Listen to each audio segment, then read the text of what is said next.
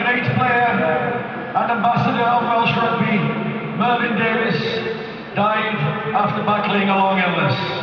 Known to friends and fans as Merv the Swerve, he won 38 Welsh caps and toured twice on successful British and Irish Lions tours.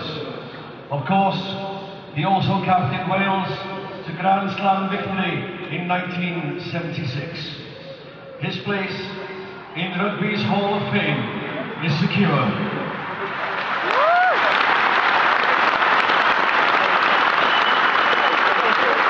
Also, also this week, Hobbs, the former All Black and renowned rugby administrator, died in his native New Zealand.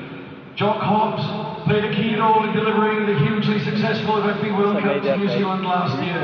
Please stand and observe a minute's silence for Jock Hobbs of New Zealand and Mervyn Davies of Wales. Mesdames et messieurs, tout le monde debout, s'il vous plaît, pour une minute de silence à la mémoire de Mervyn Davies et Jock Hobbs.